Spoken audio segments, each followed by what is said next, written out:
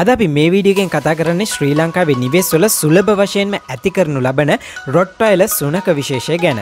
වීඩියකට යන්න ප්‍රථමයෙන් මතක් කරන හැන්ටව අප YouTube චනල එක තාමත්ව සබස්ක්‍රයිබ් කරලා නැත්ත පහතින් තියෙන රතුපාට සබස්ක්‍රයිබ් බටන එක ප්‍රෙස් කරලා ඉඩ පැති තින බෙල්ලයිකන එක කලික්කරොත් විතරයි අපි මේ වගේ දාන වීඩියෝස් ඉක්මනටම ළඟටම ගන්න ගන්න පුළුවන් වෙන්නේ.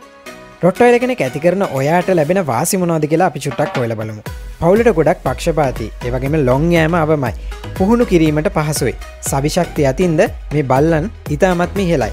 අවාසයටට අපිට දකින්න පුළුවන් වෙන්නේ මේ සුනක විශේෂය ඇතිදඩි කරන්න නම් ඔබට හොඳ පලපුරුද්දක් අවශ්‍ය වෙනවා. ඒවගේම නඩත්තුවට තරමක මුදලක් දැරීමට ඔබට හැකිවිය යුතුයි. ඒ වගේම මේ සුනක විශේෂය තනිව සිටීමට ප්‍රිය කරන්නේ නැහැ. අනෙක් බල්ලන් සමඟ සුහදවන්නේද ඉතාමත්ම අඩුවෙන්. රොට්ටයිල විශේෂය ලංකාවේ වගේම අනෙකුත් රටවලද දැක ගැනීමට හැකි වෙනවා. ලංකාවෙද මේ විශේෂය සඳහා හොඳ ඉල්ලුමක් පවතිනවා. මේ විශේෂය තමයි ආරක්ෂක අංශ සඳහා මුල් වරට යොදාගෙන තිබෙන සුනක විශේෂය. මේට විශේෂ හේතුව මොවුන් පුහුණු කිරීමට ඇති හැකියාව වගේම රොට්වයිලල සතු සවිශක්තිමත් භාවය නිසයි. මේ බලු විශේෂය ගැන මුල් වරට අසන්නට ලැබුණේ ජර්මණයේ ඩොට් වයිල් කියන නගරෙන්. මේ නිසා තමයි ඒ ගමේ නමින් මොවුණු හඳුන්නල තියෙන්නේ එනම් රොට්වයිල් ලෙසින්. මොවුන් ශක්තිමත් හා ලෙංගතු මෙන්ම ආදරණීය හිතක් පවුල කෙරෙහි පවතින බව තමයි හැමෝම කියන්නේ. නිවෙස්වල ඇතිකරනවට අමතරව ගවයින් පාලනයට කරත් ඇදගෙනයාමට වැනි කටයුතු සඳහාද රොට්වයිල් විශේෂය යොදාගෙන තිබෙනවා.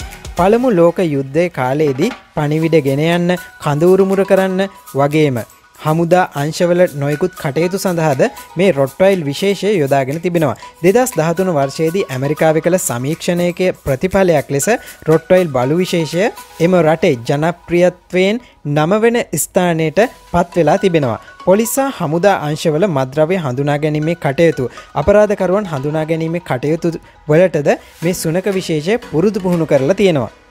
තවද නිවෙස්වල ආරක්ෂාවට පෞද්ගලික ආරක්ෂාවට ඒ වගේම දෑස් නොපෙනෙන අය සඳහා මඟ පෙන්වීමටද මේ බලු විශේෂය යොදාගනු ලබන. රොට්ටයිල් බල්ලෙක් ඇතිකිරීමට නම් ඔබ හොඳට ඔහුව පුරුදු පුහුණු කරවීමට දැන සිටීම ඉතාමත්ම වැදගත් වෙනවා. නැතහොත් සිදුවන්නේ කුමක්ද කියලා ඔබ දන්නවනේ ඒ බල්ල ප්‍රමාණයෙන් විශාල වෙනකොට ඔබගේ අන්නට කීකරු කරගැනීමට නොහැකි වෙනවා. එසේ වුවහොත් ඔබට දැඩි අපහසුතාවයන්ට මුහුණදීමට සිදුවෙනවා. රොට්ටයිල් පිරිමි සත්වයෙක් උරහිසතෙක් උස අඟල් විසි හතරත් විසි හතත් අතර වන අතර ගැහැනු සත්වයක්ගේ උස අඟල් විසි දෙකත් විසි පහත් අතර වෙනවා. පිරිමි සත්වයකුගේ බර ආසන් වශයෙන් කිලෝග්‍රෑම් පණහේ සිට හැට අතර වන විට ගැහැනු සත්වයක්ගේ බර කිලෝග්‍රෑම් තිස් පහත් හතලිස් අටත් අතර ප්‍රමාණයක් වෙනවා. ශ්‍රී ලංකාවේ මෙන්ම අනිකුත් රටවලද මේ රොට්ටයිලලගේ වලිගේ කොට කිරීම සිදු කරනවා සමහර රටවල මේ සිදු කිරීම තහනම් රොට්ටයිල කෙනෙක් සාමාන්‍යයෙන් කළු පාටයි. ඒ වගේම මොවුන්ගේ රත්තු හා කහ පැහැයට හුරු දුඹුරු පැහැයක් මුහුණේ ඒවගේම කකුල්වල බෙල්ලේ පපු ප්‍රදේශය දැක ගැනීමට හැකි වෙනවා.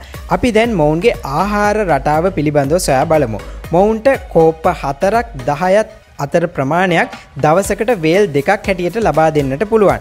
අපි සෑම විටම මොවුන්ගේ ආහාර ගැන සැලකිලිමත් විය යුතු තිබෙනවා. හැකි සෑම අවස්ථාවකදීම මේ දේ අවම ප්‍රෝටීන් බහුල ආහාර දීමට කටයුතු කළ යුතුයි. එවිට ආහාර ජීර්ණය ක්‍රමවත්වීම මගින් තරබාරුවීම අවම කර ගැනීමට පුළුවන්. කුඩා බලු පැටියෙක් මාංශය වර්ධනයවීමටත් ශක්තිමත්ත සත්වයා වර්ධනයවීමට ප්‍රෝටීන් බහුල ආහාර ලබාදීම ඉතාමත් වැදගත් වෙනවා. මොවුන්ට නිසි පරිදි ආහාර දීම ගැන ඒ නිසා ඔබ සැලකිලිමත්වීම අනිවාර්යයි.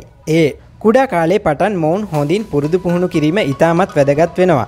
මේ බලු විශේෂයට යම්කිසි ආකාරයේ බුද්ධිමත් තීරණ ගැනීමේ හැකියාවක් පවතිනවා. මේ දේ සිදුවන්නේ ඔබ නිවැරදි ආකාරයෙන් එම බල්ලව පුහුණු කොළොත් විතරයි. රොට්ටයිල් බලු විශේෂය කුඩා දරුවන්ට පක්ෂපාතිත්වයක් පෙන්නුම් කරනවා. මේ නිසා බොහෝ වෙලාවට කුඩා දරුවන් සමඟ සෙල්ලම් කිරීමට මේ බලු විශේෂය ප්‍රිය කරනවා. හොඳින් වැඩුණු බල්ලෙක් ආගන්තුකයෙකු ඉදිරිපිටදී සංසුන් බවක් වගේම බය නැති බවක් පෙන්නුම් කරනවා. අපට බොහෝ වෙලාවට දැක ගැනීමට පුළුවන් පවුලේ අයට දැඩිසේ ලෙංගතු බවක් මොවුන් පෙන්නුම් කරනවා. ඒ වගේම පවුලේ අය ආරක්ෂා කිරීමටද මොවුන් ප්‍රමුඛස්ථානයක් ලබා දෙනවා. අමුත්තන්ට යහපත් ප්‍රතිචාර නොදක්වන මේ රොට්ටයිල බලු විශේෂය අමුත්තෙකුට සුහදවීම සිදුවන්නේ ඉතාමත්ම අඩුවෙන්.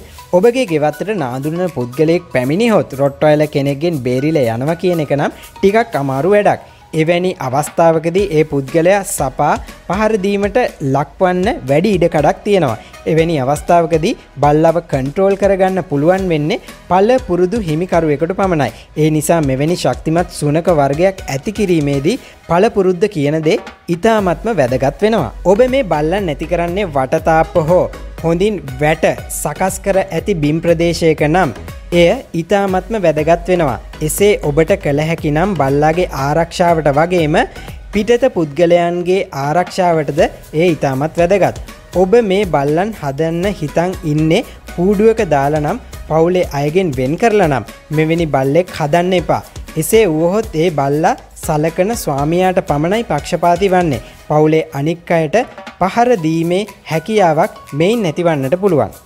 රොට්ටයිල බලු විශේෂයට රෝග සෑදීමේ අවධානම ඉතාමත්ම අවමයි. මොවුන් ශක්තිමත් බලු විශේෂයක්නේ මේ බල්ලන් ආසන්න වශයෙන් අවුරුදු අටත් දහයත් අතර කාලයක් ජීවත් වෙනවා.